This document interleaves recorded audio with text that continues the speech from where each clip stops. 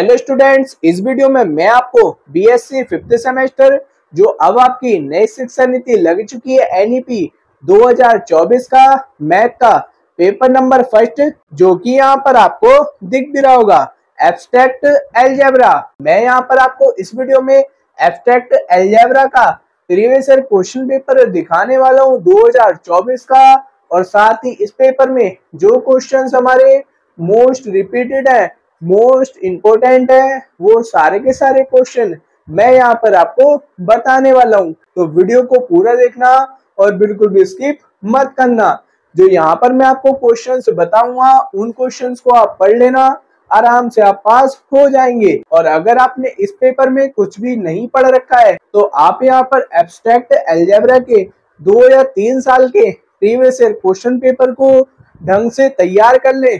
आराम से आप पास हो जाएँगे, क्योंकि आपके ज़्यादातर प्रीवियस ईयर क्वेश्चन पेपर ही रिपीट होते रहते हैं। नए क्वेश्चन बहुत कम ही पूछे जाते हैं। तो अगर आप इन पेपर्स को ढंग से पढ़ लेंगे तो आराम से आप पास हो जाएँगे। और अगर आप बीएससी फिफ्थ सेमेस्टर के और भी सब्जेक्ट के प्रीवियस ईयर क्वेश्चन पेपर को देखना चाहते हो तो मैंने इसकी प्रॉपर प्लेलिस्ट बना रखी है।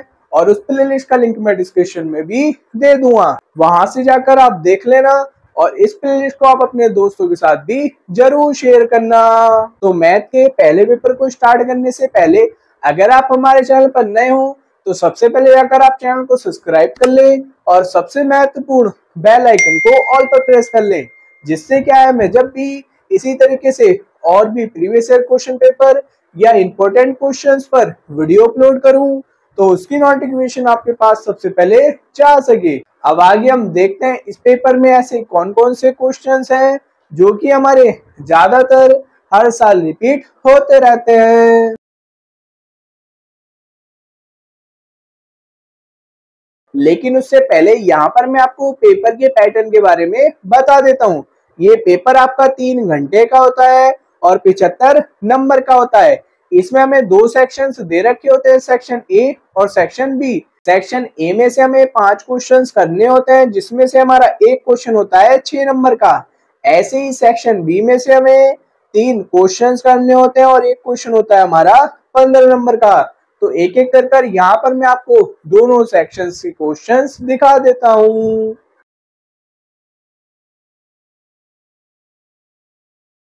तो यहाँ से हमारा सेक्शन ए स्टार्ट हो जाएगा और जैसे मैंने आपको बताया था, वैसे यहाँ पर हमें दे भी रखा है। और ये हमारा पहला क्वेश्चन है। ज़्यादा इंपॉर्टेंट तो नहीं है, लेकिन आप इस क्वेश्चन को एक बार देख लेना। अब मैं आपको इसके और क्वेश्चंस आगे दिखा देता हूँ।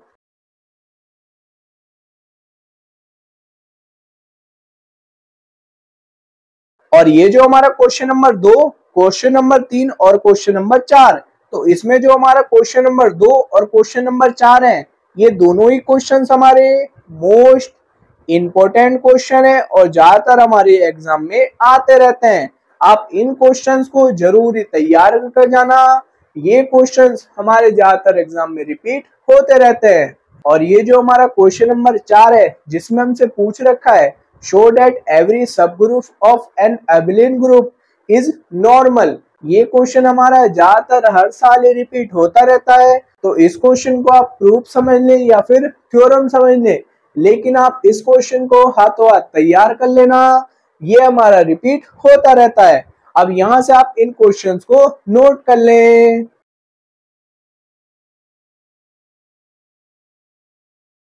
तो ये हमारा इसका अगला क्वेश्चन क्वेश्चन नंबर पाँच क्वेश्चन नंबर छह और क्वेश्चन नंबर सात। तो इसमें जो हमारा क्वेश्चन नंबर छह है जिसमें हमसे पूछ रखा है, वो मैं आपको अभी बता देता हूँ। ये हमारा मोस्ट इंपॉर्टेंट क्वेश्चन है। आप इस क्वेश्चन को भी ज़रूर तैयार कर लेना। इस क्वेश्चन में हमसे पूछ रखा है proof that the intersection of any two subrings of a ring R is a subring of are यह हमें प्रूफ करके दिखाना है। इस तरीके के हमारे पास दो क्वेश्चंस हैं। दोनों को आप ढंग से तैयार कर लेना। क्योंकि ये दोनों ही क्वेश्चंस बदल बदल कर एग्ज़ाम में आते रहते हैं। और ये जो आपका क्वेश्चन नंबर आठ है, जिसमें हमें यहाँ पर कुछ पॉइंट दे रखे हैं, जिनके यहाँ पर हमें एक तरीके से हमें डिफाइन करना है, या आप ये सोच लें कि हमें परिभाषा लिखनी है। डिफाइन करने के लिए आपके टॉपिक्स आते रहते हैं। एक क्वेश्चन आपका इस तरीके का लॉन्ग क्वेश्चन में भी आ जाता है। तो आप इन टॉपिक्स को भी ढंग से पढ़ लेना एक बार। अब यहाँ से हमारा सेक्शन बी स्टार्ट हो जाएगा, जिसमें हमें लॉन्ग क्वेश्चन दे रखे हैं। और यहाँ पर हमें तीन ही लॉन्ग क्वेश्चन करने हैं, और सेक्शन बी हो जाएगा हमारा 45 नंबर का। ये हमें एक क्वेश्चन दे रखा है क्वेश्चन नंबर नौ। इसको आप देख लेना, ज़्यादा चांसेस तो नहीं है इस क्वेश्चन के। फिर भी आप एग्ज़ाम से पहले इसको देख लेना एक बार। अब यहाँ से इस पेपर में जितने भी क्वेश्चन हमें दे रखे हैं, सारे क्वेश्चन हमारे मोस्ट इंपोर्टेंट है। तो आप इन क्वेश्चन को भी ज़रूर तैयार कर लेना। क्वेश्चन नंबर दस क्वेश्चन नंबर ग्यारह क्वेश्चन नंबर बारह, तीनों ही क्वेश्चन हमारे मोस्ट मोस्ट इंपॉर्टेंट है। इनको आप ज़रूर तैयार करके जाएँ। और ये क्वेश्चन आपका शॉर्ट क्वेश्चन में भी आ सकता है। इस बात का भी आप ध्यान रखना। और ये जो हमें थ्योरम दे रखी है लेग्रांजेस थ्योरम ये हमारी मोस्ट इंपोर्टेंट थ्योरम है। आप इस थ्योरम को ज़रूर तैयार कर लेना। यहाँ पर आपको पहले इसका स्टेटमेंट लिखना है, उसके बाद में इस थ्योरम को प्रूफ करके दिखाना है। और ये आपकी लॉन्ग क्वेश्चन में आई हुई है, इस बात का भी आप ध्यान रखना। और शॉर्ट क्वेश्चन के लिए भी आप इन क्वेश्चंस को ज़रूर तैयार रखे जाना। अब मैं आपको इस पेपर के बचे हुए क्वेश्चंस भी दिखा देता हूँ। तो ये हमारा इसका लास्ट क्वेश्चन क्वेश्चन नंबर तेरह, जिसमें हमसे पूछ रखा है proof that a finite integral domain is a field ये भी हमारा मोस्ट इंपोर्टेंट है। और यहाँ पर आप देख भी सकते हैं कितने छोटे छोटे क्वेश्चंस हमारे लॉन्ग क्वेश्चन में भी आए हुए हैं। तो आप इन क्वेश्चंस को शॉर्ट क्वेश्चन के लिए भी ज़रूर तैयार रखे जाएँ। जिन स्टूडेंट को पास होना है, इन क्वेश्चंस को तो ढंग से पढ़ लेना। आराम से आप पास हो जाएँगे। तो ये था हमारा मैथ का पहला पेपर जो कि यहाँ पर मैं आपको दिखा भी चुका हूँ। आप इस पेपर को ढंग से तैयार कर लेना। आराम से आप पास हो जाएँगे। और साथ ही अगर आपको इस पेपर के किसी भी क्वेश्चन में कोई भी डाउट हो तो आप कमेंट कर कर ज़रूर पूछ लेना।